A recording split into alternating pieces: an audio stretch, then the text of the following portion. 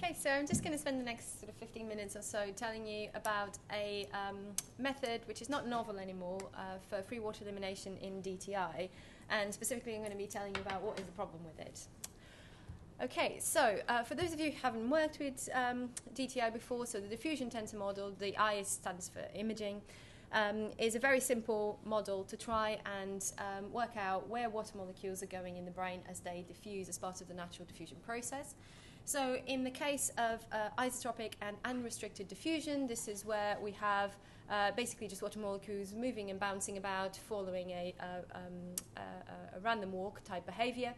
Uh, and this would be well described by a diffusion ellipsoid, which is actually just a sphere because the sort of displacement of water molecules is identical along any possible direction in space. So we represent that pattern by a sphere. And what the diffusion tensor is, is just a matrix. And in this case, it would be a diagonal matrix, and all of the diagonal elements will actually be the same. That's the diffusion coefficient, representing effectively the average area covered by uh, water molecules per um, unit time. So in a case of still isotropic but now restricted diffusion, which is what we would get if we would get some uh, uh, obstacles or barriers present, that could be some sort of macromolecule or um, cell bodies in, in, in the brain, what we will see is that the pattern of movement is still um, sort of equal along any direction in space, but now the average displacement is smaller because it's sort of restricted or constricted by those obstacles. So we still have a diffusion ellipsoid, which is a sphere, just a, a sphere with a smaller uh, radius. And again, the same thing, we still have a diffusion tensor, which is just a diagonal matrix, but now the um, uh, resulting or restricted diffusion coefficient is smaller than what we had before. And then we have the case of anisotropic restricted diffusion, which is when we have um, uh, barriers that are providing an obstacle to diffusion along certain directions. So, for example, if we've got a coherent axonal bundle and we consider the uh, random diffusion movement of water molecules inside those axons, we can clearly see that the preferred direction of diffusion will be along the direction of the axons, and diffusion uh, along a direction perpendicular to those barriers will be severely restricted. So, in this case, we have clear directionality of diffusion. There is one direction in space that is preferred, and therefore the diffusion ellipsoid that represents that is going to now look like a, a, an ellipsoid. Um, and the uh, main axis of that ellipsoid will give us the that preferred direction for the fusion along which the water molecules are going to be traveling further. In that case, we do have a complete diffusion tensor, which is uh, symmetrical, and each of those entries there represent the projections of diffusion onto uh, the, the, the different directions in space. So once we have fitted uh, the diffusion tensor, we can derive a number of other metrics, but the model for the diffusion tensor is actually very, very simple. So uh, S naught represents the baseline signal in the absence of any movement, and then it's an exponential model there. Um, that B there represents the B value that tells us how sensitive to uh, movement of water molecules we are. Um, and then the diffusion tensor is there, our D, and this R represents the direction in space that we are sampling. So in order to fit this model, we uh, need to get seven measurements with our MRI scanners. So one of them to give us this kind of baseline signal there um, is usually what we call the B equals zero image. So it's the one where we don't uh, have any um, sensitization to diffusion. Uh, and then we need six more so that we can get the six elements of our symmetric diffusion tensor. And those need to have a non-zero B coefficient or B value. Um, and in the case of the diffusion tensor, we only need one non-zero b value to estimate the component of the diffusion tensor.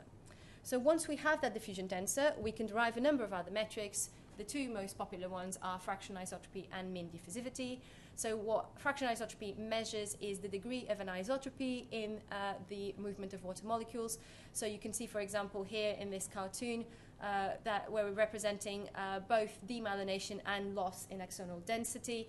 What we see is that when we had uh, high myelinated uh, axons there and uh, quite a, quite a high density, we had the um, movement of water molecules being very highly restricted and only happening along that, that direction there. So we had a high fractional anisotropy. If you like, this is basically just a variance between um, the uh, uh, that length there and the uh, radius of there. So if obviously the, the, the, the, the bigger the difference between those, the, the higher the value of, of FA. And then in a case where we've lost both myelin and um, some axons, we will see that there is uh, slightly less um, restriction along that perpendicular direction. So the, the kind of the radius of the ellipsoid there has increased. So we have lower fraction isotropy there. Um, and then in terms of mean diffusivity, mean diffusivity just tells us the average um, area covered by water molecules per unit time. So again, in this case, you can see that with the highly myelinated axons, it was tricky for the water molecules to move in between them. So we had very, very highly restricted diffusion and a low mean diffusivity coefficient. But if uh, there's now more space between the axons, water molecules can move a little bit more freely, and the uh, mean diffusivity will now be uh, increased in this case. So, what is free water uh, elimination? So, um, there are lots of limitations of diffusion tensor uh, imaging. Uh, the ones that people are usually more aware about is that it assumes a single fiber direction, so it ignores things like crossing fibers or dispersion of fibers. But another problem is that it assumes that there is no partial voluming whatsoever. Well, a lot of the time we will have not one compartment, but multiple compartments within the size of the voxels that we're imaging, right? So they're, they're millimeter sized voxels uh, but we are trying to describe processes that are, are, happening in a much, much smaller scale. So partial voluming is, is a big issue. And in particular, a lot of the time, we will also have contamination by an isotropic compartment, uh, which in, in the brain is effectively CSF. And indeed, if we do estimate the index or the proportion of free water in the brain, uh, we see obviously it's brighter in, in, in CSF and darker in brain tissues. And if we sort of zoom in there, we see, yeah, it's, it's um, dark in, in, in brain tissue, fairly bright in CSF, and then we've got along the rim there all sorts of uh, gradients of, of, of grey representing the proportion of, of, of, partial voluming that is happening there. So it is important to estimate uh, the contribution of this isotropic compartment, particularly in those areas that are close to uh, CSF pockets. So in order to do that, we uh, just basically add one compartment to our diffusion tensor model. So this part here is the default or the original diffusion tensor model. And then we include a second compartment where uh, we have there a uh, diffusion water coefficient um, without needing directionality because this is an isotropic component. And so F here represents the volume fraction of the anisotropic part of the diffusion, and 1 minus F will be the volume fraction of the uh, free water comp compartment. So if we uh, find F, 1 minus F will give us uh, how much of that signal is coming from free water, or uh, what is usually called the free water index. So uh, the model itself is not that much more complicated. Uh, it's just adding a little compartment to our previous model. However, this is now a two compartment model, and because it is a two compartment model, it will only be mathematically well posed for multi shell diffusion data. And multi shell here means more than one of those non zero B values. So for the diffusion tensor, we just needed one shell, single shell. In order to properly fit this model, we're going to need at least two. However, most clinical diffusion MRI datasets are single shell. So it was important to try and find a way of fitting this model to data, even if we only have a single shell. So in 2009, such a model was proposed by uh, Pasternak, who I've just misspelled his name there, and colleagues. And in order to do this, they had to use a regularized gradient descent fitting method. Um, and the regularized here stands for there are some, some priors, there are some things that we have to, uh, to um, set, otherwise the fitting doesn't converge. And uh, we, this model also requires very careful initialization of the model parameters. And as I mentioned, uh, some priors need to be included, specifically the uh, mean diffusivity of the, the tissue, uh, which is traditionally set to 0.6 uh, 10 to the minus 3, uh, which is what was reported in literature as a typical value for mean diffusivity. But the problem is this value tends to be estimated from diffusion tensor model. So there is a chance this uh, prior is, is, is not ideal, but uh, more on that in a moment. So um, for, for many years, people would come in and say, oh, but this model is well posed, you shouldn't really be using this. and that was always pushed away and ignored, and more and more applications um, started to come in. So it sort of started uh, with neurodegeneration. Um, it went on to uh, traumatic brain injury, to aging. So if you kind of search the literature, there are hundreds and hundreds of papers using this uh, regularized approach uh, for estimating free water. And then in uh, 2021, uh, finally, someone who was not a mathematician decided to uh, do a study to sort of show what is the problem of these regularized single shell models. So he compared a regularized gradient descent single shell model with um, non-linear um, least squares fitting using multi-shell data, which is the kind of well-posed version of the model. So here are just some examples of the images that you, um, that you can get. So obviously some of the obvious things are there. Uh, so the free water index, uh, th this value in those two options, both the single shell and the multi-shell, are close to one in CSF and in the uh, surrounding uh, parenchyma. Then the um, MD and now the T there stands for tissue. So when you extract free water, then you have the mean diffusivity of the free water compartment and the mean diffusivity of the tissue compartment. So the MDT values uh, so we're now looking at this row here, are always lower um, uh, in the two free water approaches compared to uh, DTI. And this again makes sense because in the DTI, the CSF contribution was going straight into the mean diffusivity. Now we're separating them and we're seeing that actually the mean diffusivity of the tissue itself is much lower than um, expected. Um, and then we can also see that the single shell, the, the, the regularized gradient descent method here, provides uh, mean diffusivity maps that have lower contrast between grey and white matter. In fact, there's non-existent contrast between grey and white matter in the single shell approach, while there is more contrast in, um, uh, in the multi-shell version of those maps there.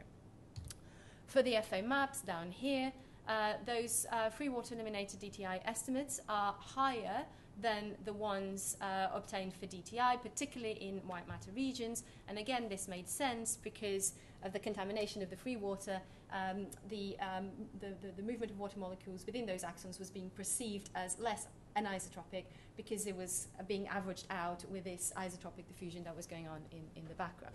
So all of this makes sense.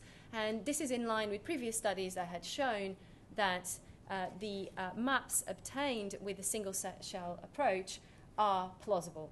Okay? And they are. So uh, another thing that they did then was to say, okay, what happens if we simulate some lesions in our brain data? And those lesions can be um, by sort of changing the free water uh, compartment, or we can change the mean diffusivity instead. So this is brain data, but they got the signal uh, from the brain data and then added either a bit of extra isotropic component in the free water or a bit of uh, extra isotropic component but as part of the mean diffusivity. Hope, hopefully that, that's making sense. So if you see here, this is the gold, um, the ground truth and what they did was this. They just changed that bit of the tissue there and said, I'm going to increase the amount of free water in that little sphere. And it's just the free water that they're changing. Then they put all the data back together and therefore there should be nothing changing in the mean diffusivity of the tissue because all of the change went into the free water. And then here you see what the three fitting methods do. So obviously DTI has no way of estimating this as part of free water, so we put all of the change in the mean diffusivity, as was to be expected. And then what does the single shell approach do? Well, it does capture the change as part of a change in free water, but it's very clearly present in the MD map as well. So this model was not able to um, fully understand, if you like, that the change was uh, free water only. And then finally, uh, the uh, multi-shell approach, there it is, the lesion in free water and nothing whatsoever in MD. Then they did the reverse. They put the um, sort of did, did, did apply the manipulation to the tissue mean diffusivity rather than uh, the free water component. Uh, again, DTI can capture that. There it is. Um, what did uh, the uh, single shell method do? So it's picking it up as a change in free water, uh, which again is erroneous. Um, there isn't much in the mean diffusivity. There is a tiny, tiny little bit, but uh, uh, not, not a huge amount there, and it's clearly seen in the fractional anisotropy map. While the multi-shell version finds nothing in uh, free water index in line with the ground truth and uh, all the effect of that lesion is there in the uh, uh, mean diffusivity compartment as to be expected. So on the basis of this, uh, we're already starting to see some, some clear issues with the, with the single shell approach. And then finally, they also did some simulations um, uh, of, of, single voxel type tissue uh, changes. And what I would like to um, uh, I would like to catch your get, you to catch your attention or to look at this uh, graph down here in particular. Uh, so they're, they're, doing three initialization methods for the, for the single shell approach. Uh, we can ignore those for now. The green one is the one that I'm going to use later on. Um, but the, um, uh, what this graph is showing us here is that when we have our um, uh, estimates, when we're uh, simulating data that has a mean diffusivity of the tissue, equal to the value that was used as prior, which is this point here. So the ground truth mean diffusivity is 0.6. Then the uh, single shell method behaves really well. It's right on top of the ground truth. So the, the, the, the orange line there is the ground truth FA value. So everything is working really well. But as soon as the underlying uh, ground truth of the mean diffusivity, as soon as that changes, you can see that the uh, single shell approach generates a value of FA that has nothing to do with the ground truth, and in fact, it increases with the true mean diffusivity of the tissue. Is that making sense? And we see that for different values of underlying free water compartment. Okay? So, if the prior is good and the prior is set to be the same everywhere in the brain, so if the prior is doing a good job, the uh, single shell method can recover ground truth, fractional anisotropy, and mean diffusivity, but as soon as the underlying tissue is actually different from the prior, we start to get this correlation between fractional anisotropy and mean diffusivity, which is not true. Everything was kept constant here. The only diff- that difference is being introduced by the, um, uh, uh, the, the, the, regularized method, which isn't appropriate. Um, okay, so um, there are some studies looking at this um, free water in aging, and we happen to have uh, the CamCan dataset lying around, hap- which happens to be multi-shell. So I thought, okay, let's have a look at what these things look like when we apply it to uh, um, an aging data shell with multi-shell data. And I can use the two methods because I can just extract the inner shell and apply the single shell approach, and then I can use both shells to uh, look at the multi-shell approach. So lots of text coming down here just to tell you exactly what I did. So I used 620 healthy volunteers from the CamCan data set, uh, so age range from 18 to 88. So because we have those two shells, we can compare the free water DTI estimates using the single shell approach, just taking the B equals 1,000 inner shell data, and uh, I can compare that to the multi-shell approach with the two um, uh, sets of B values. Uh, pretty standard pre-processing. Uh, DTI modeling, uh, the kind of standard DTI modeling was um, processed in FSL. Um, and then the free water elimination was uh, fitted to this data using the um, uh, regularized gradient descent and the non-linear least squares multi-shell approaches. Um, I used another, another, very, very box standard um, method for voxel-wise analysis of diffusion data called TBSS, that stands for Tract-Based Spatial Statistics. So I applied that the, just straight uh, from the um, from the from the pack pipeline to the FA data, and then applied uh, the TBSS non-FA script to all of the other versions of the free water um, uh, metrics. And this script basically just applies the same transformations which were applied to FA, um, so we can have all of the data in the same space ready for uh, voxelwise analyses. And uh, the uh, stats were performed with permutation tests, 5,000 uh, permutations, and correction for multiple comparisons as well. Significant correlations between age and diffusion metrics were defined by a corrected p-value of less than 0.01. Okay, so what did I see? So, widespread positive correlations between mean diffusivity and age um, has been reported many, many times. Nothing special here. And this was the case for uh, both uh, DTI and then with the two um, um, free water models there as well. However, when free water elimination was performed, the number of significant voxels decreases, And this effect is more pronounced in the single shell method. So th- that's what we're looking at here. So I, I broke up the uh, brain into lots of different regions using the JHU white matter atlas. That's what those regions there are. And then in blue, you've got the DTI. In orange, you've got the two versions of the um, free water fitting, with the um, uh, darker orange being the um, uh, single shell. And what you see is that um, the orange bars are always lower than the blue, so there is a reduction in the effects of mean diffusivity with age, but that's much, much more pronounced in the um, uh, single shell version. And in fact, if, you, uh, if this is big enough for you to zoom in there, in that um, red region there, the um, significant effects have completely vanished for the single shell approach, and uh, there are several regions where this happens. So in some regions of the brain, it's as, as if mean diffusivity uh, has no effect whatsoever, which may be true. We don't know, but there is a clear difference between these two methods. So the free water index, um, highlighted there in green, also shows widespread positive correlations with age for both methods. But again, uh, difference in number of significant voxels, and this time we have um, more uh, significant voxels with the uh, single shell approach. So suggesting here that's perhaps overestimating the uh, free water content um, uh, in, in, this case. Um, but perhaps not perhaps, for sure, the more interesting findings here are in FA. So the DTI based FA produced strong negative correlations with age across the whole brain. That's there up there. Again, widely reported in the literature. Um, the free water eliminated FA maps obtained with the single shell approach, so the regularized one that needs priors, um, are there and you can see a very clear difference because now in the middle of the brain there are lots of yellow regions. So that is suggesting that actually in these regions of the brain the correlations are positive. Complete change from what we'd seen before.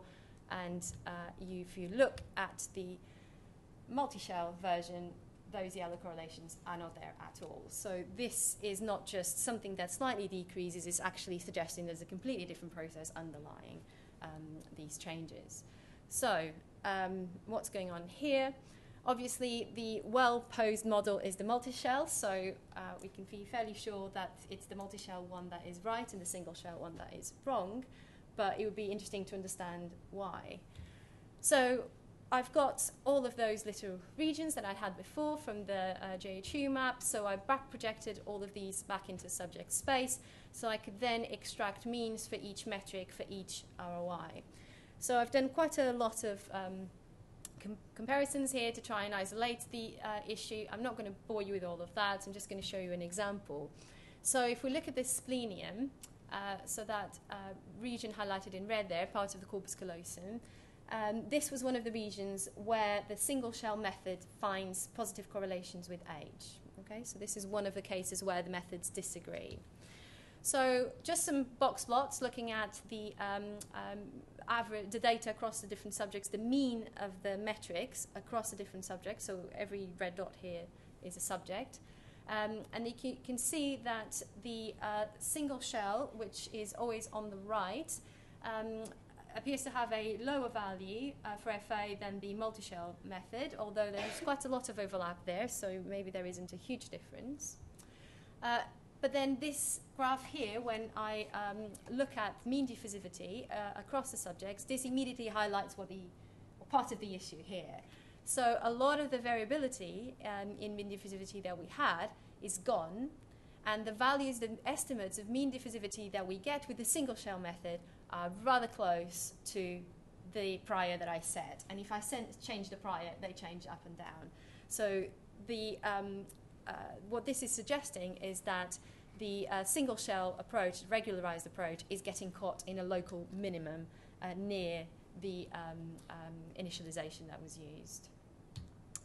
So this is the same thing for the free water index, and uh, as, as I suggested before, it looks like the single shell method is slightly underestimating the, uh, um, the contribution of free water in the data. Okay, so um, looking at the um, FA as a function of age now, we see exactly what we'd seen in the uh, whole brain analyses. So we've got in blue the uh, multi-shell approach and in red the single shell. And so this is exactly the same data, the difference is just a fitting, and uh, you can see that the blue line, the multi-shell, is clearly still showing that negative correlation with age, as been widely reported in the literature for FA, but the um, uh, single shell method has now changed those, some of those values, and we see that kind of positive um, uh, trend that we had also identified in the whole brain analysis. Uh, how about for MD? So this is what it looks like. So again, we really see that variability has been extremely decreased. We've got our values much, much closer to the prior, which was set, and the uh, rate of change with age is still there, but it appears to be flattened out. So this again explaining what we saw in the whole brain, where in some regions of the brain the mean diffusivities um, uh, correlations have completely disappeared um, uh, for the for the single shell approach. So, what about the single shell algorithm is doing this? so, I looked at um, the relationship between the uh, free water FA multi-shell estimates and the free water single shell FA estimates. So they're just being plotted against each other and they're color coded for age. So we, we can see, as we saw with the box plot, that the um, values of FA with the single shell method are generally lower than the ones obtained with multi-shell, but you can clearly see that that trend sort of shifts as age goes on. So for the older patients in yellow, they get closer to the line and even cross the line, suggesting that the single shell starts to overestimate FA, and that is correlating with age. And you can see that here as well, if that graph doesn't make a lot of sense in the vertical axis here is just the difference between the uh, multi-shell estimate and the single shell estimate, and then I'm plotting that as a function of age, and then you can see that there is a clear uh, decrease with age, uh, with a lot of those values uh, becoming negative, so the, the, the, single shell estimate becoming greater than the multi-shell estimate as age increases. Um, so there is a difference between them, but that difference is correlating with age, and this is why we're seeing that, uh, that difference in the, um, uh, in the FA patterns. And why is it? Well, I'm pretty sure it's that uh, issue that I highlighted initially that the uh, single shell method uh, overestimates FA as a function of mean diffusivity. So what I'm plotting here now is the mean diffusivity estimate from the multi-shell model that I'm using as the, as the ground truth in a sense because the single shell, as we know, it's all flattened out. And I'm plotting the, um, uh, the, the, the, single shell uh, FA estimate as a function of that. And as you can see, it goes up linearly, which is um, exactly the same thing we had seen with those simulations. Mean diffusivity of the tissue goes up and the estimate from the single shell model for FA goes up as well. And in case you're wondering, uh, no, the same thing doesn't happen with the um, multi-shell FA. We see a, a, a decrease, potentially driven by, by, by some outliers, but uh, a decrease of the um, FA with MD, which is actually what you'd expect biologically, right? So in the simulations, everything was kept constant. But if you think about that graph that I showed you initially with the uh, demyelination and the locks in axonal density, usually if FA goes down, MD goes up, because if there's less anisotropy, there is also uh, less of restriction. Uh, for, for, movement of water. Uh, so that's it, really. So, what is the trouble with free water DTI using a regularized single shell approach? So, generally, free water index are underestimating and the mean diffusivity is overestimated. Uh, the MDT values that we obtain are rather close to the prior we used for model initialization. Uh, so this results in an apparent flattening of our MDT profiles. In many regions, it appears as MD is not changing with age at all. The uh, fraction estimates increase with the underlying mean diffusivity in the tissue for the single shell approach, which in turn uh, increases with age, resulting in this false correlation well, the, correlation is not false, but this false link between uh, the FA uh, of, of, the tissue and age. Uh, so, biological plausibility of the metrics obtained with the single shell approach does not imply accuracy or specificity, and the findings reported in the literature using such methods need to be interpreted with extreme care. So, thank you very much to the people involved in this in one way or another, and obviously to the CamCan team for collecting all of that data. Thank you very much.